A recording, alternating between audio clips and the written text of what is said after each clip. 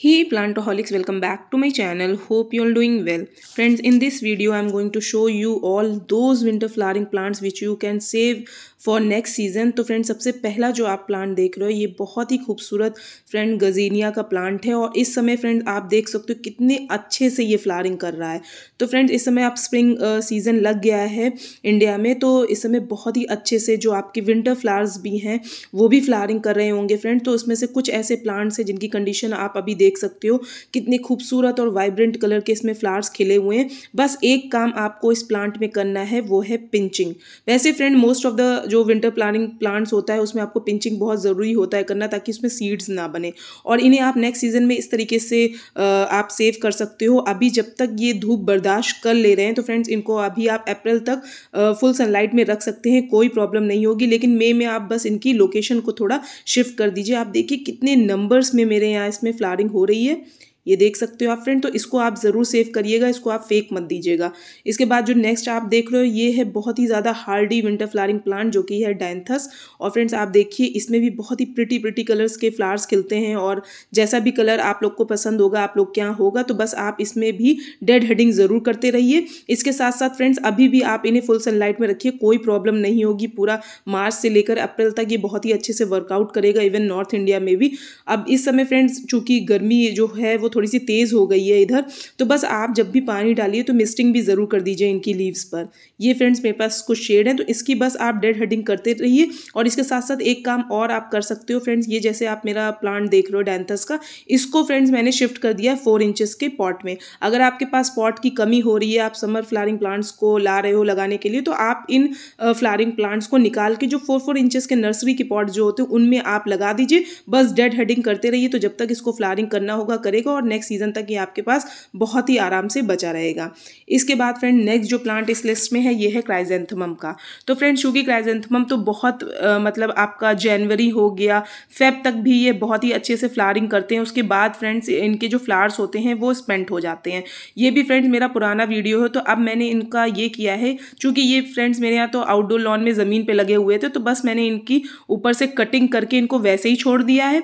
और जो फ्रेंड्स मेरे यहाँ पॉट में लगे थे क्राइजेंथमम के प्लांट्स उनको भी फ्रेंड्स मैंने कटिंग करके छोटे छोटे जो फोर इंचेस के पॉट होते हैं, जो हमें नर्सरी से फ्री में मिल जाते हैं फ्रेंड्स उन्हीं में ही लगा दिया है। तो फ्रेंड क्राइजेंथमम को तो सेव करना बहुत ही आसान होता है। आपके पास जो भी आप फ्लावर खिला हुआ देख के लाते हो, जैसे ही सीज़न ख़त्म हो, बस आप इनको कट करके इवन इनकी आप कटिंग भी लगा दोगे फ्रेंड्स नॉर्मल सी गार्डन सॉइल में, उसमें भी इनकी कटिंग भी लग जाती है। तो नेक्स्ट सीज़न तक ये आपके यहाँ बहुत ही अच्छे से रहता भी है ग्रो भी करता है। फिर जब इनका फ्लारिंग सीज़न का टाइम शुरू होने वाला हो तो उससे पहले आप अक्टूबर में इनकी जो है, आप रीपॉटिंग कर दीजिए, छोटे पॉट से इनको बड़े पॉट में लगा देंगे। तो फ्रेंड्स ये अपने सीज़न में, जो विंटर सीज़न होता है, उसमें ये फ्लारिंग बहुत अच्छे से करते हैं। तो फ्रेंड्स ये मेरे कुछ शेड्स से जो कि ज़्यादातर वाइट ही निकले हैं, जो कि बहुत ही अच्छा और खूबसूरत कलर देखने में लगता है। तो फ्रेंड्स इसको मैंने सभी को ही, इनकी बस कटिंग करके इनको ऐसे ही छोड़ दिया है। और बाकी को जैसे कि फ्रेंड्स मैंने आपको बताया है, वैसे ही मैंने पॉट में ही उनको फोर फोर इंचेस के छोड़ दिया तो फ्रेंड्स आप कभी भी ये काम मत करिएगा कि विंटर फ्लावरिंग प्लांट्स का जैसे ही सीज़न जो कि स्पेशली आप इस वीडियो में देखोगे, उनको आप ज़रूर सेव कर लीजिए। बहुत ही आसानी से ये सेव हो जाते हैं। और फ्रेंड ये एक शेड और लगा हुआ था तो ये देख सकते हो आप फ्रेंड तो सभी को मैंने इस तरीके से कटिंग कर दिया है। तो आप भी कट करके उनको अभी भी चाहो तो बचा सकते हो। अगर आपके पास लगा हो बड़े पॉट में तो आप उसको छोटे पॉट में कर दीजिए। नेक्स्ट जो प्लांट आप देख रहे हो फ्रेंड्स ये बहुत ही ज़्यादा प्रिटी फ्लावरिंग प्लांट होता है। ये है अजेलिया। तो फ्रेंड्स इसको अगर आपको गर्मियों में कैसे सेव करना है, इसका मैंने एक पूरा डिटेल वीडियो बनाया हुआ है, उसका लिंक जो होगा मैं ऊपर आई बटन पे दे दूँगी। वहाँ जाकर आप उस वीडियो को ज़रूर चेकआउट कर लीजिएगा।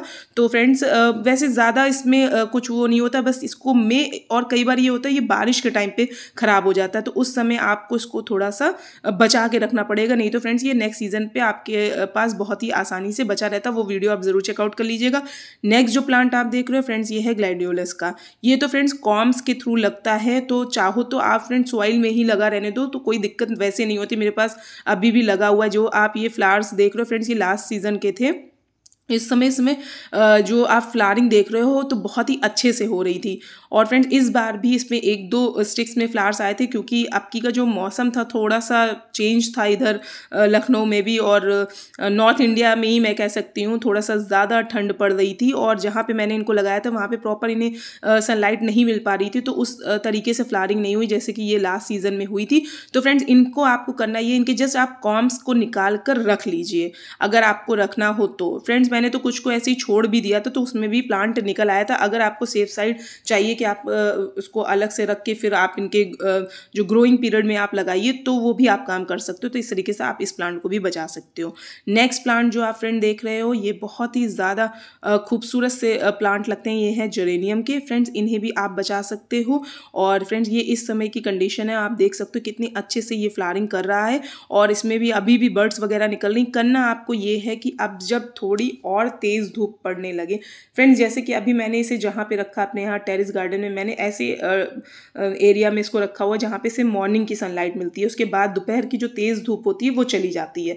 तो फ्रेंड्स, आप उसको ऐसे ही एरिया में अभी आप रख सकते हैं जहाँ पे इसको मॉर्निंग की सनलाइट मिले। और फ्रेंड जैसे ही थोड़ी तेज़ या हार्श सनरेज होने लगे, आप इसकी लोकेशन को शिफ्ट कर दीजिए। थोड़े से शेडी एरिया में इसको रखिए जहाँ पे इसको बस एक दो घंटे की भी मॉर्निंग सनलाइट मिल जाएगी तो भी फ्रेंड वहाँ पे सर्वाइव कर जाएगा जब बहुत तेज़ गर्मी पड़ती है। इसके बाद नेक्स्ट जो आप प्लांट देख रहे हो ये है फ्रेंड्स कैलन कोई का ये तो फ्रेंड आपके पास बच ही जाएगा। फ्रेंड्स ये तो मैंने अपने टेरिस गार्डन में भी रखा हुआ तो तो, तो भी ये प्लांट बच गया। फ्रेंड्स ये जो आप प्लांट्स देख रहे हो ये मेरे लास्ट सीज़न के थे जो कि आपकी इस तरीके से फ्लारिंग कर रहे थे। तो फ्रेंड्स इसमें इसको बहुत ही आसान होता है बचाना। आप बस इसको थोड़ी से ऐसे एरिया में रखें या थोड़ा सा ठंडा इसको माहौल मिल सके या दो तीन प्लांट्स के आप बीच में रख दीजिए तो वहाँ पर ये प्लांट सर्वाइव कर जाता है और बहुत ही आसानी से आपके पास बचा भी रहता है। इसमें भी फ्रेंड्स आपके पास कई सारे शेड्स आपको मिल जाते हैं। जैसे कि फ्रेंड्स आप ये रेड एंड ऑरेंज आपने देखा अभी। अभी ये देखिए फ्रेंड्स ये मैंने इस बार खरीदा है। ये है येलो कलर का। तो फ्रेंड्स अब मैंने इनकी तो लोकेशन को चेंज कर दिया है। मैंने इनको उठा के थोड़ा सा ऐसे एरिया में रख दिया बस जहाँ पर इनको मॉर्निंग की दो तीन घंटे की सनलाइट मिल जाती है, वो बहुत है। उसके बाद फ्रेंड्स शेड थोड़ा सा पड़ता है तो वहाँ पर ये बहुत ही अच्छे से ग्रो कर रहा है। नेक्स्ट जो प्लांट आप देख रहे हो फ्रेंड्स ये है पॉइंसेटिया का। फ्रेंड्स ये तो मैंने इसका जब मैंने वीडियो बनाया था, तभी आपको बताया था। इसको फ्रेंड्स मैं अपने टेरिस गार्डन में ही ऊपर छत पे ही रखा है। और लास्ट टाइम से लेके फ्रेंड्स इस बार भी आप देखिए कितना अच्छे से इसका कलर जो आया है, इसके लीव्स में बहुत ही ज़्यादा खूबसूरत सा ये देखने में लग रहा था। तो फ्रेंड्स अब की बार भी मैं फ्रेंड्स इसे टेरिस अपने गार्डन में ही रखूँगी, छत पर ही। क्योंकि फ्रेंड्स एक जो मेरे पास प्लांट है, जो मैंने सबसे पहले लिया था, उसको मैंने अपने इंडोर गार्डन में शिफ्ट कर दिया था। तो वहाँ पर वो प्लांट ख़राब हो गया था। लेकिन जब मैं ये वाला प्लांट लेके आई, मैं दो प्लांट लेके आई थी, दोनों को ही फ्रेंड्स मैंने अपने यहाँ टेरिस गार्डन में ही ऊपर रख दिया था छत पे तो वो सर्वाइव कर गए थे। बस उनकी जो लीव्स होती हैं फ्रेंड्स मैं आपको आगे दिखा देती हूँ। ये तो चूँकि नवंबर का वीडियो तो उस समय ये रेडनेस आने लगी थी लीव्स में। लेकिन जब आप गर्मी के टाइम में इसकी प्लांट्स की लीव्स को देखोगे, ये पूरी तरीके से ग्रीन रहती हैं। तो फ्रेंड्स मेरे यहाँ तो ये छत पर वर्कआउट कर गया तो मैंने इसको ऐसे लोकेशन में रखा था जहाँ पे इसको मॉर्निंग की सनलाइट मिल जाती थी चार से पाँच घंटे की। उसके बाद वहाँ पर शेड आने लगता था। तो फ्रेंड्स वहाँ पर ये सर्वाइव हो गया। आप पता नहीं, अब इतनी मे वाली जो गर्मी होती है मई जून में भी ये बहुत ही अच्छे से वर्कआउट किया। प्लांट काफ़ी हेल्दी था। तो फ्रेंड्स इस वजह से मैंने ये चीज़ आप लोग के भी साथ शेयर की थी उस वीडियो में तो फ्रेंड्स आप इस तरीके से पॉइंसेटिया को भी बचा सकते हो। नेक्स्ट जो प्लांट आप देख रहे हो फ्रेंड्स, ये है जाफरी और मैरीगोल्ड के प्लांट्स जो कि मैं आपको इस वीडियो में दिखाऊँगी। तो फ्रेंड्स आप इसे भी बचा सकते हो और इसे बचाना तो फ्रेंड्स बहुत ही ज़्यादा आसान होता है। आप इसकी छोटी सी कटिंग लगा दो या फिर फ्रेंड्स आप इसके जो फ्लावर्स होते हैं, जब सूख जाते हैं, उनको जस्ट फ्रेंड्स आप सॉइल में भी दबा देंगे तो फ्रेंड्स ये प्लांट आपके पास नेक्स्ट सीज़न तक के लिए भी बचा रहेगा। आप बहुत ही आसानी से इसका प्रोपोगेशन कर सकते हो और फ्रेंड इस बार तो मैरीगोल्ड ने तो मेरे यहाँ बहुत ही अच्छे से फ्लारिंग की।